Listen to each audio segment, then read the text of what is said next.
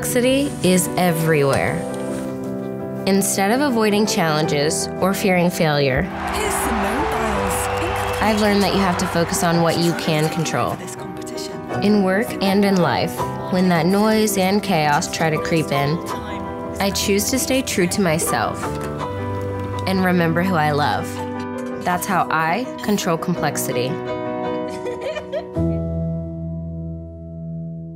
This is the grand finale of Hacker Valley Red, where we're exploring the nexus between offensive cybersecurity and humanity with a hacker's mindset. Finally, I'm one of your hosts. I'm Chris Cochran. And I'm Ron Eddings. And this season, we explored these cybersecurity legends. We explored the topics, the people, the ideas that really make up red teaming, offensive operations, and alike. This season was incredible for me because I'm a son of cybersecurity. I'm someone that would say cybersecurity helped raise me because when I was a teen and a kid, I felt lonely a lot. But when I was online on technology, learning about hacking and cybersecurity, I felt whole. And speaking to some of the people that I used to look up to so much when I was first breaking in, it's a dream come true.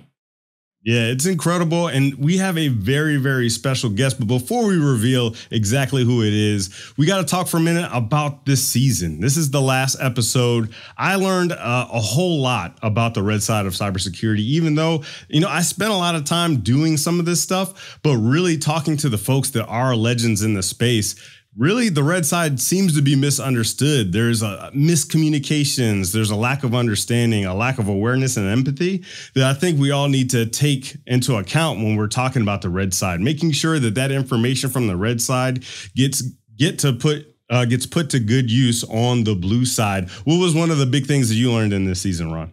The one of the biggest things that I learned is engagement outreach, support. There's so much that we could do from a technical perspective. We could build the best tools and the best hacks and maybe even build the best company. But what happens when you don't have people to support you or support your ideas? And also, what happens when you're not supporting others' ideas and supporting the community? All things are going to start to fall apart. You're going to have a breakdown in communication, a breakdown in operations, but also a breakdown in people feeling good about what they're doing and who they're doing it with. 100%. When was the first time you touched Metasploit? That is a good question. The first time that I touched Metasploit, it was actually the second tool that I ever used in cybersecurity. Mm. The first tool that I used was called ProRat. It wasn't open yep. source. I didn't know how it worked. But the first tool that I used where I really felt confident was Metasploit. And I would say that was in 2007.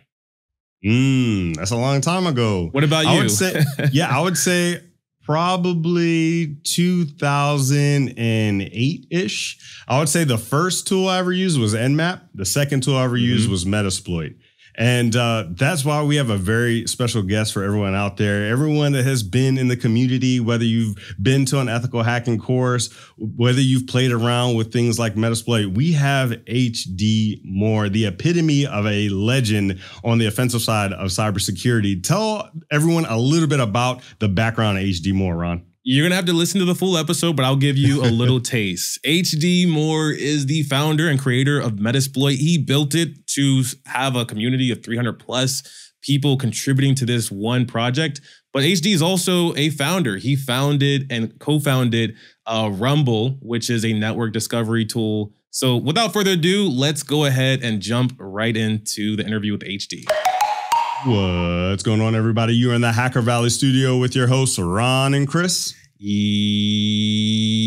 sir. Welcome back to the show. Glad to be back again. And usually I'm not on my own podcast being a fanboy. You know, we run into a lot, but today I'm a complete fanboy. We have a legend on the podcast, a legend that is known for founding Metasploit, a legend that's known for co founding Rumble. Today, our guest is HD Moore, the founder of Metasploit and also co-founder of Rumble. HD, honor and pleasure to have you on the podcast. Oh, Welcome. Oh, thanks, Ron. Thanks, Chris. Thanks for having me. Absolutely. You know, you can't really go through any ethical hacking course without touching something like Metasploit, without being touched by the community that you've basically created from that brain of yours. But for the folks out there that don't know who you are just yet, would love to hear a little bit about you and your origin story. Yeah, sure. I kind of grew up in the, the, the 90s of hacking things through telephone wires as opposed to you know internet. Uh, moved on to IRC and all the TCP/IP fun stuff in the early days there, um, and just kind of spent my the rest of my career bouncing between consulting work where I'm doing red team work and actually breaking into stuff, or building tools to automate the process of finding vulnerabilities or exploiting stuff. So I spent a lot of my time either you know just neck deep in random bank networks, tearing things apart, finding ways to you know pop e-commerce systems and steal credit cards, or going and writing the tools to find ways to automate the exploitations for that stuff. So I really love doing that kind of back and forth model of get out there, go in the field, see what kind of crazy stuff exists in the world, and then go put, go heads down for a few years building products to exploit the heck out of them or otherwise provide great data about them. So take us back a bit. When I first got into hacking and exploitation, really cybersecurity as a whole it was because I got hacked. Someone hacked me on AOL Instant Messenger. It was devastating. But the reason why I wanted to learn about it and do it myself was because I wanted to do it to my friends. I wanted to them to have that same reaction that I felt and be surprised and have their CD ROM drive open up and close and the computer restart. But what was it for you that made you go so deep down this rabbit hole of exploitation, networking, and all the things alike? I'm, I'm, for a lot of it's just the computing side of things. It's the combination of like I can write some code that does something on my behalf, and it just goes off and does things. Usually the wrong thing, but it's great to you know know that any problems are my problems. Like it was my mistake that caused that. So it's nice having like that level of like controlled, you know, concise output. The other side is just the discovery and, and understanding. Like I'm just really like curious about the world. I really want to know what's out there.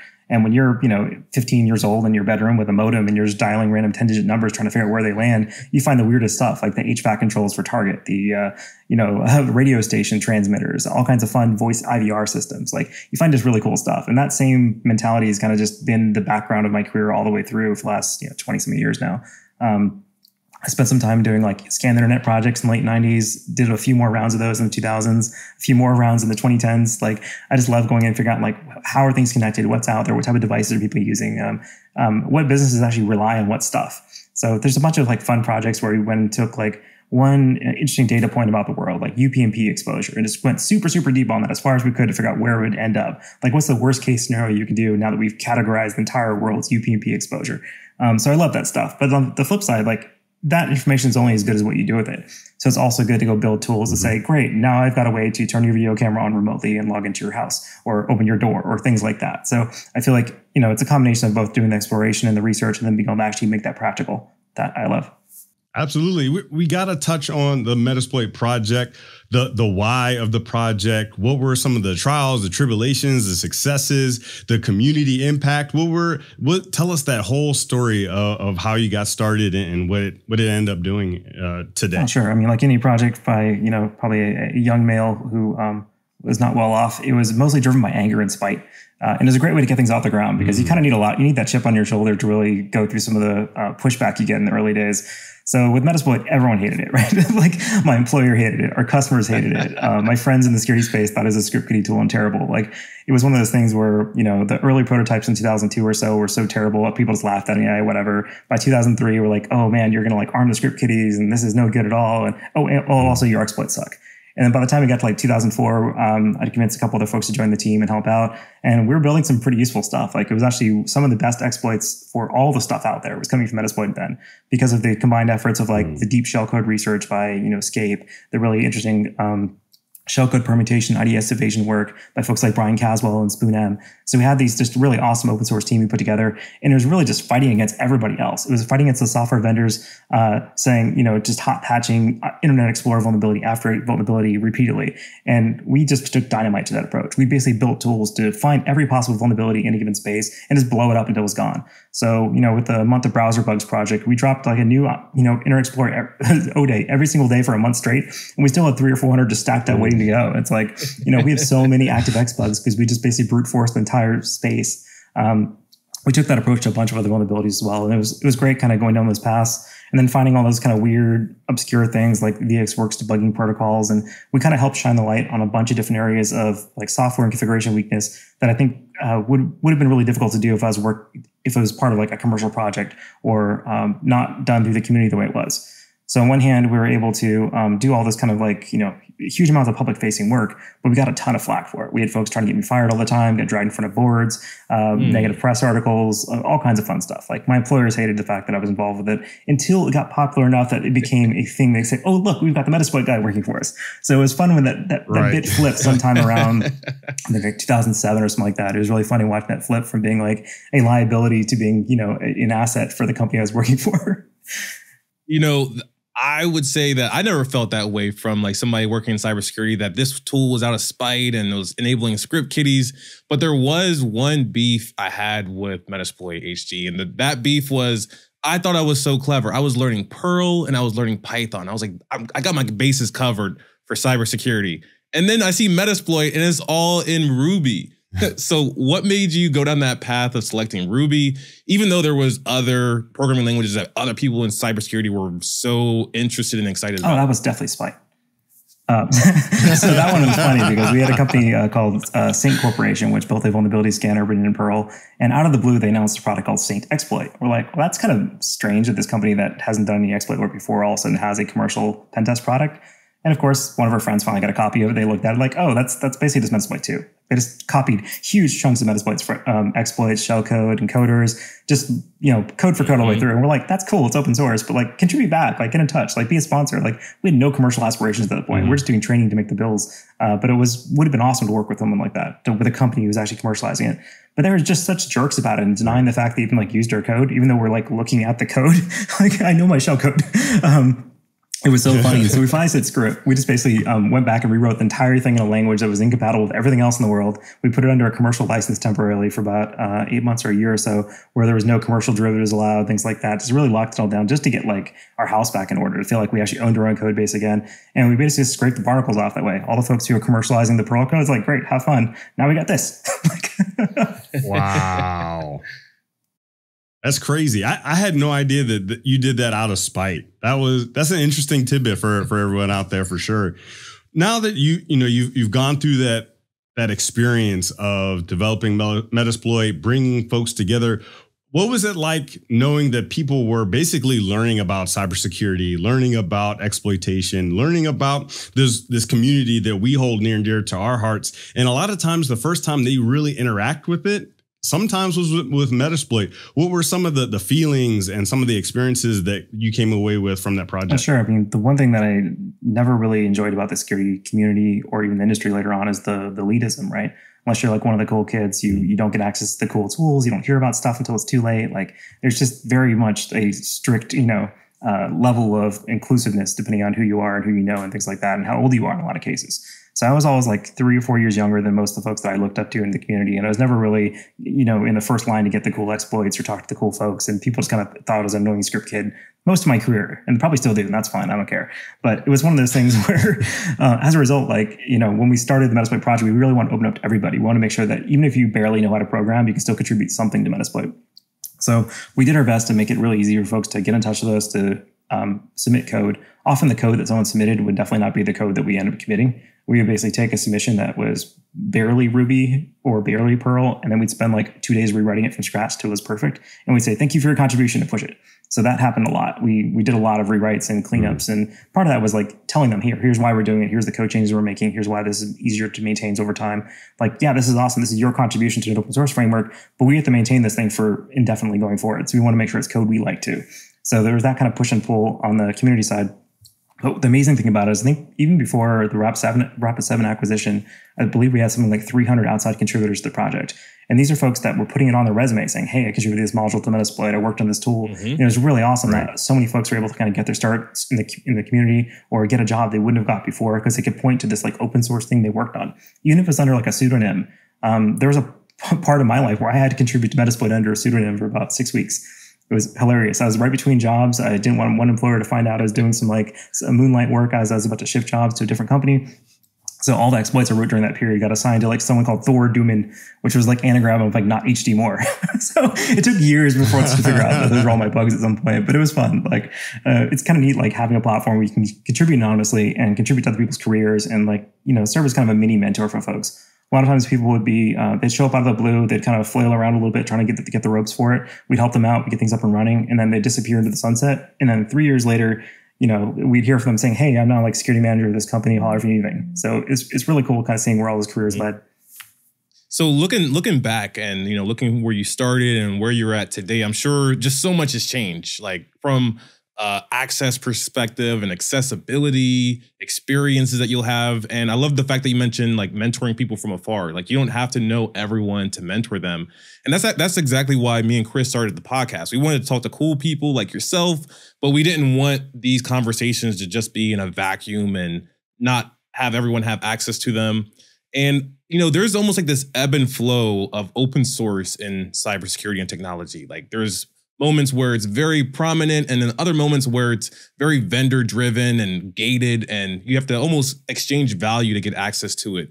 You know, tell us a bit about your experience over the course of your career, feeling as though you have access or feeling as though you didn't have access to the tools and technologies that you wanted to learn about. Oh, sure. Um, open source has been amazing for that. And you're definitely right that there's an ebb and flow to it based on a lot of things. Um, if you look at where security tools were in the beginning of the 2000s, you would not trust a tool unless it was open source. So if you're a pen test team or security team, mm-hmm. you're not going to use some compiled binary from, you know, some, you know, exploitation team in Germany or something like that without doing a lot of research on it first. You have no idea what the shellcode does. You don't want to use that on your banking clients. So open source really was a requirement for a long time for folks who wanted to use these tools. But then you had the commercialization of security tools. You had folks selling commercial products, so you had Core Impact, uh, Immunity Canvas, Saint Exploit, things like that. And as folks kind of got uncomfortable with the fact that security tools could be commercialized, they stopped caring quite as much about them being open source. And we've kind of seen that trend um, expand in the last probably 10 years in particular. People just don't care as much anymore whether the tools they use are open source. They just care like, does it work right? And do I trust the company behind it? But the fact that it's open source and they can look at the code is no longer like, you know, step one of the requirements. Um, so it's good and it's bad. I think it's a lot of it's been driven by the kind of like rampant commercialization of open source. Whenever folks publish something, immediately all their competitors and take that and run with it and then build something. Like even in my current job, we hear um, you know, through the back channel, like, hey, this company is like taking the stuff we work in at Rumble and the open source parts of it, and then embedded it into the, their new discovery product. We're like, that's great. Hope they get in touch and collaborate because you know, one way is is no fun. Like, let's make this thing fun for everybody. But there's definitely a lot of kind of uh, not underhanded, just kind of like one way open source use out there in the commercial world. Um, and it's a shame that it happens, but that's one of the reasons why you're seeing like these not open source licenses being applied to like cloud hosted databases, things like that, what they call like community licenses, which are really just not open source and pseudo commercial EULAs at that point. Um, so it's a shame that's going that way, but it'll go back and forth. My guess is in five years we'll go back to BSD and MIT for everything. Um, I love like the the Go language ecosystem is amazing because everything's basically like one of those um, very liberal licenses by default. You have to go out of your way to use a jerk license like AGPL or GPL two or three, um, which are you know right. horrible for everybody, including the author, for so many reasons I won't get into right now. But I'll, I'll fight that debate any day. I was gonna say let let's go a little further into that. Right, you now have sold Metasploit. Kudos to you. I, I love the fact that you did, and you've you've built companies. You're, you're actually building a company now with Rumble. So tell us a bit about kind of like this ebb and flow today with how where you're at. Like what parts of a product do you think should be free or open source, and then what parts of a product should be uh, productized, maybe even monetized? Yeah, it definitely depends. Where do you want the contributions, right? Um, so for us, like the things that we don't really, um, we wouldn't have a huge use for community interaction would be around like how our scan engine works directly. Like it's something very specific to how we do work. It doesn't really make sense to open source that because it's like this is exactly our weird narrow point of view that we take when we're doing discovery, and it's not really broadly applicable. If we put this out in the community, folks to say, "Well, I want to do this, I want to do that, I want to work this different way," we're like, "That's cool, but we're doing it this way." So it's one of those things where because we've made some you know strong opinions about how we go about collecting data, this scan engine doesn't make sense for open source. The things that do make sense though are all the fingerprints. So we want to take as much of our fingerprinting as we can within Rumble, make it open source, collaborate with other companies on that. And it's working out really well. We use a project called Recog, which started off at Rap 7 when I was there. That was then pumped full of data from like the Project Sonar stuff, where we scanned the whole internet, made banners and things like that. It drives Metasploit, it drives Nexpose fingerprinting, um, or Insight VM these days. And it's about half of the fingerprints of Rumble as well. So I love that we've got this like open source fingerprint library that multiple companies are all collaborating and using um, lots and lots of people are using it. Only a few are really collaborating to it, but that's that's kind of the normal for open source world. So that's kind of our take today. Is like we're closed core, but we're kind of open around the libraries and the fingerprints and the edges of things, which is a little different than the you know older open core model where you then like sell the plugins to it instead. So we feel like we're kind of going the opposite direction in this case. Being open, sharing frameworks, sharing exploits, sharing information, I think is a powerful thing for community. Uh, it, I, I believe that knowledge is power. But we spoke briefly about some of the backlash that we can get from giving information pretty freely, right? I got a little bit of backlash because I used to teach physical pen testing, right? Teaching people how to pick locks, how to bypass alarm systems and things like that. Because much like you, like, oh, you're making it easy for criminals to do the crimes. But I feel like if I had to guess, the the folks that I taught on the positive side, the folks that were trying to protect from these attacks from happening far outweighed the folks that probably went into the class with malicious intent. Now that you've been through that entire experience and you're thinking about open source, you're thinking about knowledge and arming people with awareness, where does your philosophy really land today? Um, when it comes down to it, you do the work, you own the result. So if you're teaching people how to do stuff, mm-hmm. great, they can do what they want. You can decide to do that, you can decide not to do that. But it's your decision to spend your time training people or not training them. Um, I feel the same way about vulnerability disclosure. If you find a cool bug in something, great, do whatever you want with it. Like, hopefully, you don't go to jail and do something illegal. Don't sell to North Korea. Um, you know, don't put it on the blockchain. But right. at the end of the day, like, you know, it's it's not. I can't tell you what's responsible or not. It's it's your relationship with the vendor, your relationship with your employer, with your own set of code and ethics and morals. Like, the, the term responsible disclosure has always been this made up thing used by the vendors to somehow shame vulnerability researchers into doing what they want. And no, end of the day, like it's your bug. You do what you want. It's great. Like I can't tell someone else to do, do to do something with their bug. Like if I tried to tell Tavis, hey Tavis or uh, you shouldn't disclose this vulnerability. Like hopefully he would laugh in my face because it's not my job. It's not my role. I don't own that bug. Like just like I wouldn't tell him how to tie his shoes. Like it's not my business. So I think folks really need to um, bluntly butt out.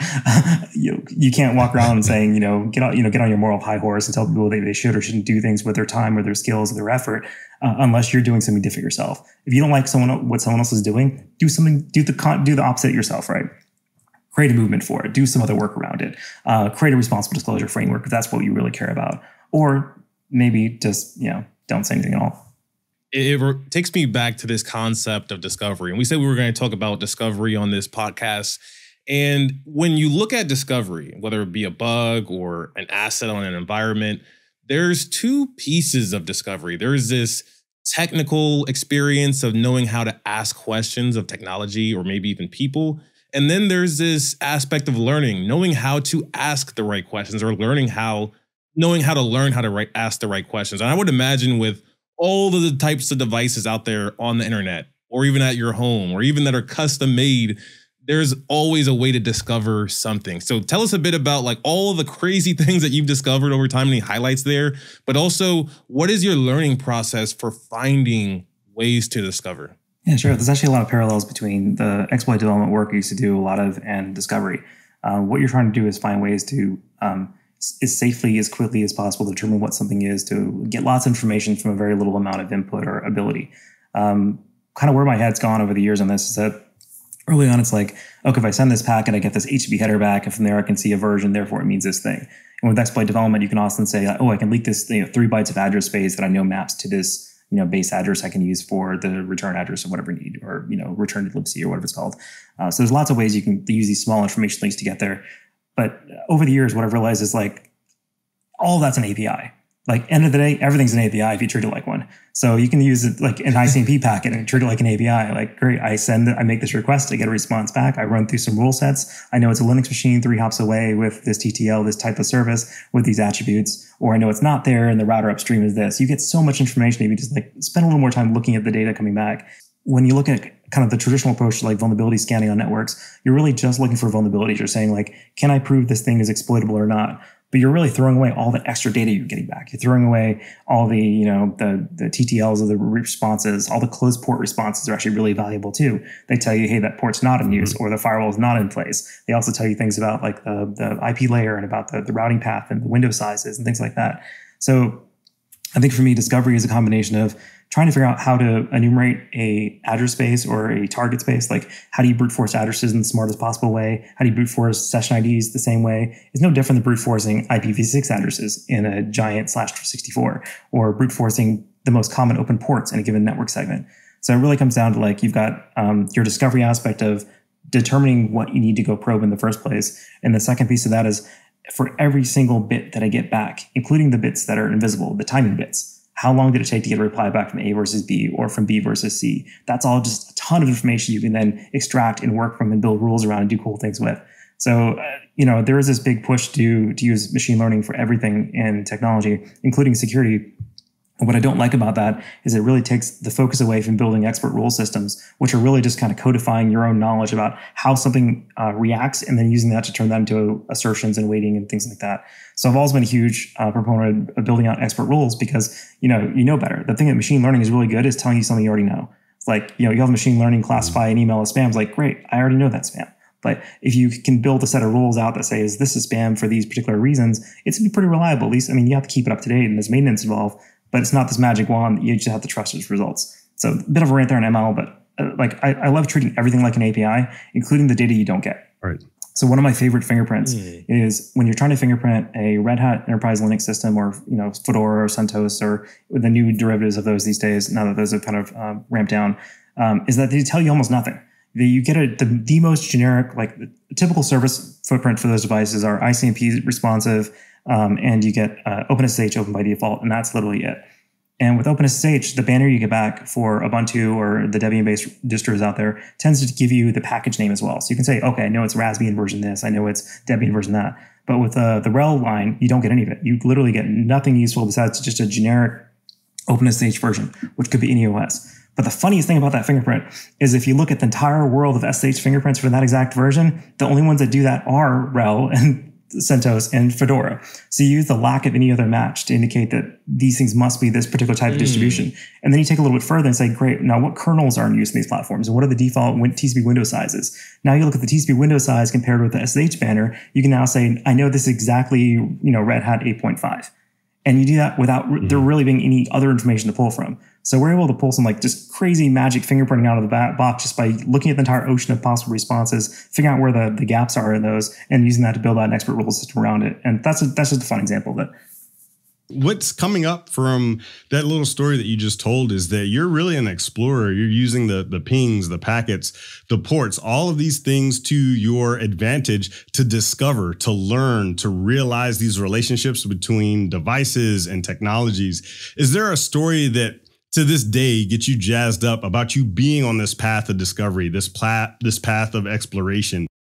The, most the research results in failure and sadness, but some of those are really fun too. Like one that uh, one that was like sort of recently is uh, I was playing around with the SMB2 protocol. I was trying to figure out how to do some enumeration and things like that. And SMB2 is a little different from SMB1. It's got a bunch of fun tricks to it. Mm-hmm. Plus, SMB3 is kind of built on two. Uh, so as you dig into it, it has. But one of the neat things about SMB2 is it has a session ID. So just like a cookie when you go to a website, it gives you like a big random number and says, here's your random number. If you need to reconnect, you can come back and connect to this number. And you know, session IDs are generally not supposed to be like sequential. They're supposed to be like random and then people can't predict them. That's a kind of a standard security thing. Right. But for some reason, all the session IDs on Linux um, and Mac OS, Linux with Samba, um, as well as BSDs, uh, Darwin's SMBDX, and on Windows, they all had somewhat predictable session IDs for SMB2. And it just like stuck in my brain. Like, okay, if If session IDs is being used for authentication and they're predictable, what can we do with this, right? There's got to be some cool thing we can do with this. So I spent probably two weeks straight going through every possible packet exchange, looking at the authentication, looking at the encryption, looking at the keyings, and there actually ended up being a, a two really cool things you can do. You can leak back a cryptographic primitive that is totally useless, but it probably somehow saw your password once before it got turned into like a truncated hash of a hash of a hash um, from a machine remote, from someone else's session remotely by brute forcing their session ID. Another thing you can do with that is because it's predictable, um, you can then use that to track the um, uh, activity on the machine. So over time, you can tell how many connections have happened to the server since I saw it last time, just by tracking, predicting the, the flow of IDs and then following them going forward. So that turned into a couple of really fun tools. So one of the tools would basically let you tell tell you whether someone else already had an active session on the machine, and it would actually kind of kill it too. So if you happen to brute force someone's SMB2 SID, you'd also terminate their SMB connection too from a different IP address, totally unrelated to them with no knowledge of their session just by brute forcing the space, he found the SMB2 session ID and triggering an error in the session, which is really fun. And that has a weird cryptographic wow. leak bug too. That was kind of neat. The second part of that was like you can tell how busy a server is. So if you're doing a pen test and you're scanning the network once a day during your two week engagement, you can say, has anyone even logged into the server during those two weeks? And you can easily tell by what SMB, uh, SMB SID you get back through SMB2. And the funniest part about all this is like I was mostly focused on Windows and this weird cryptographic primitive because I thought there'd be some way to brute force the, the, user's original password hash through it. And yes, kind of, sort of, but you'd have to know a whole bunch of other um, randomly generated keys material. So it was difficult to do anything with it. But the funny thing about this is when you look at the Linux and Mac OS version of this, they're leaking the kernel base address in the responses. So the way that, um, not the kernel, but the application base address. So on Mac OS, it actually leaks back a 32-bit base address in the kernel, and on uh, Linux, it leaks back the base of the session table's like pointer address. So now, just accidentally, we now have this memory leak that tells us how we could probably exploit it if we find another Samba bug or SMBDX bug. So just this one little chain of um, research led into so many weird corner cases and potential vulnerabilities. None of these were like, you know, CVSS 10. They're, they're not like ex- super exploitable or a big deal right. or anything like that. But it was just really fun to go dig into like all the possible ways these bytes get turned into other bytes that get turned into a password that get verified and all the kind of fun side effects of it, like remote monitoring the utilization of a server. Going deep. That that is definitely discovery and exploration. And that's one of the things that I've always admired about practitioners in cybersecurity is that they have to explore, they have to learn. You can't be in this industry without learning at least somewhat regularly, if not every day. But what I would imagine other people admire about you, and this is one thing I admire about you, is that you're also a businessman. Like you are a founder, you founded a tool, but you also founded a company, then you sold it and you found another company, but you still have your hands in this technical pot. So tell us a bit about that. How does that work? Like, is it is it feasible to be a CEO or a co-founder and stay technical, or is this something that you just really love and upset and are obsessed with? I think you can definitely do both. I mean, it comes down to what you enjoy doing for your like. Don't let the growth of your company change what you enjoy about your work. That's really the, the big thing there. And there's lots of ways you can get there. You can hire folks to help out. You can, uh, you know, promote your co-founder or CEO, like I did in my case, which is awesome. I get to go spend more time in the tech weeds again.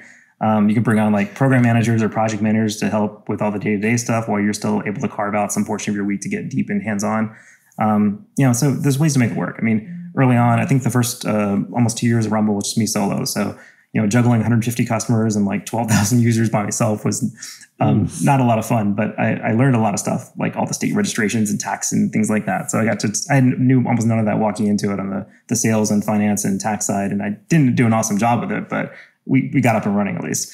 So it was nice being able to hand that off to folks who know it better than me once I kind of got the, the wheels under it. Um, and now it's working much better, of course, because it's not me running our taxes as much. so, uh, but at the same time, it was great to know all that. Now I know how what I do on the tech side applies to how we do our sales tax tracking, or how we do our Nexus tracking, or uh, how it impacts a given customers like billing cycles or uh, their, their, revenue recognition and things like that. So it was really useful for me to go do all a little bit of all that stuff once. So even now, we tend to hire people that are um, a little bit less senior than who other startups may drop in, and just have them basically hit the ground running and just like eat and breathe the the problems of that role for a few months before um, either they bring people on below them or we promote them up to something else. So we've, done an awesome job of finding more junior folks who could step up and really learn on the fly here. And I, just, I love doing that because it's good for the careers. Um, and you also end up with team members who really, really know the space and know your problem set and know your customers by the time they get there. HD, you know, this entire season was all about the legends of the offensive side of cybersecurity. And we definitely think that you are one of those legends. But there are people out there that are just getting started. They're, they're listening to this show, they're just getting deep into the weeds of whether they're developing exploits or they're looking at IR programs and processes, whatever it is, they they want to make that impact like you've made on the community. What is that one piece of advice that you would have for that individual today? Honestly, the thing that's the hardest even for me these days is just getting something out there. Like get your blog post out, publish your blog post, push your tool, do your talk, do your presentation, like get something on the internet, share what's on your head, put it on paper, put it on a slide deck, put it in a video and get it out there. Just get as much of your brain out in the world as you possibly can, as quickly as you can, repeatedly because you know even these days like I, I, still have like the you know the stage fright of publishing a blog post. Like i still feel like oh this is stupid. No one's going to care about this. This is, this makes me look like an idiot. I want to put this thing out there. I still hate giving talks. I still find them like really really stressful. I find podcasts really stressful. Like i don't like talking about myself. Like it just for me it, like right. Uh, even with like 100 plus security talks being my belt now like i don't like it. I'm not good at it. But it's the only way to really get out there and tell people what you're working on and share what you're doing. And i wouldn't have had a career if i didn't do all that stuff so even though the you know the the writing, the publishing, the speaking, um, the open source work, not all of it is the most fun thing to do all the time. It is crucially important not just for growing yourself and getting out there and getting kind of uh, feedback from your peers, but for learning because you learn so much from the feedback you get from that effort. You learn like, okay, I got this thing wrong or I got this thing right, or someone comes back says, oh, you really should go look at this other protocol instead. Like so much of my like career successes have been from publishing something that was crappy, someone telling me I could do it better by doing this thing instead, and I go, oh, you're right, I'm gonna go do that now. Thank you. Outstanding. Perfect advice for anyone out there trying to become that legend to make an impact on our community. HD, thank you so much for hopping on with us. For the folks out there that want to keep up to date with you, all the great things that you're doing with Rumble, keep up with all the contributions or even your past contributions uh, with Metasploit, what are some of the best ways for people to stay up to date with you? I'm on Twitter as uh, just HD Moore, um, Rumble.run for work. We've got a blog where we post, you know, hacky stuff like here's how to detect protocols and query things, things like that. Uh, I got a GitHub uh, username is HDM there, and of course you can always email me at x at hdm.io, and I'm pretty responsive. I get buried now and then, but I definitely try to get back to people pretty quick.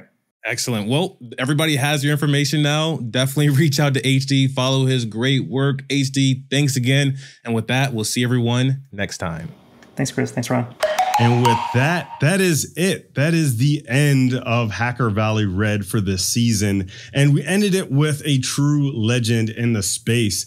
But we have to talk about one of the reasons why we were even uh, able to do this at all, and that is our sponsors. And one of our sponsors is PlexTrac, where we talk about this communication of the red and the blue side to create something purple where we are going to move that needle for our security posture. Ron, having something like PlexTrac, a place where people can have conversations conversations about findings, uh, about remediation, about pulling all that together. How important is that for someone that utilizes red information? Is, is the most important element. Whether you're using red, whether you're a red teamer or a blue teamer, there's always threat intelligence, and that's your background. Information yep. about the threats, about what damage can be done to your team, your organization. And typically, this is done with so many tools, but with a tool like PlexTrac, it's all in one place. There's this reporting aspect, there's this communication aspect, and there's also this remediation aspect. And I think that is one of the most valuable pieces of a tool like PlexTrac. Definitely check out PlexTrac and what they got going on. Even it's just to see how those communication pathways can occur. Be sure to check out plextrac.com forward slash hacker valley. That's P L E X T R A C dot com forward slash hacker valley and tell them we sent you. Yes, tell them we sent you and also tell everybody about this episode and season that you can. We would love if you shared this content on social media or on your favorite streaming platform, favorite social platform. It would mean the world to us. We also have a community. We we we've been speaking a bit about community this entire season. So, Chris, before we wrap up, how important is community for you? How is important is community for even like offensive operations, red teaming, and cybersecurity. Right.